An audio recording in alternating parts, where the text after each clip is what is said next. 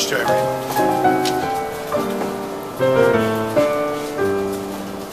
Ruin seize thee, ruthless king, confusion of on thy banners wait.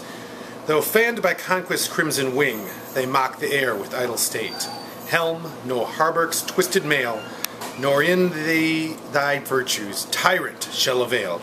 To save thy secret soul from nightly fears, from Cambria's curse, from Cambria's tears. Such were the sounds that o'er the crest pride of the first Edward scattered wild dismay. As down the steep of Snowdon's shaggy side, he wound with toilsome march his long array. Stout Gloucester stood aghast in speechless trance. To arms! cried Mortimer, and couched his quivering lance.